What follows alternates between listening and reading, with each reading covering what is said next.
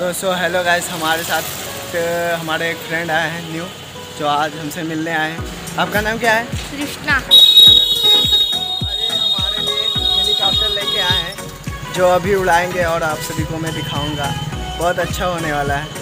तो और अभी तो रुको क्लाइमैक्स अभी बाकी है। तो इसको हम उड़ाने जा रहे हैं। बहुत मस्त आवाज़